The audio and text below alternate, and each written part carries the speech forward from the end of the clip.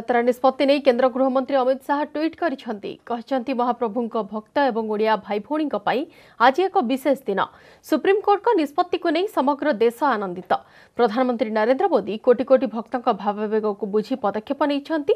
ପିଏମ୍ଙ୍କ ନିର୍ଦ୍ଦେଶ କ୍ରମେ ଗଜପତି ଏବଂ ଶଙ୍କରାଚାର୍ଯ୍ୟଙ୍କ ସହ କଥା ହୋଇଥିଲି। ଘଟଣାର ଗୁରୁତ୍ୱକୁ ବିଚାର କରି ଏହାକୁ ଏକ ଅବକାଶ ଖଣ୍ଡପୀଠରେ ରଖାଯାଇଥିଲା।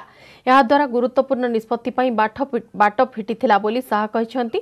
ମାମଲାର ଗୁରୁତ୍ୱକୁ ବୁଝି ତୁରନ୍ତ ଶୁଣାଣି ପାଇଁ ସୁପ୍ରିମକୋର୍ଟରେ ଆବେଦନ କରାଯାଇଥିଲା। ଆଉ ସୁପ୍ରିମକୋର୍ଟ ସଠିକ୍ ନିଷ୍ପତ୍ତି ନେଇଥିବା ଗୃହମନ୍ତ୍ରୀ କହିଛନ୍ତି। ଏଥିସହ ଓଡ଼ିଶାବାସୀଙ୍କୁ ଅଭିନନ୍ଦନ ଜଣାଇଛନ୍ତି ଅମିତ ଶାହା।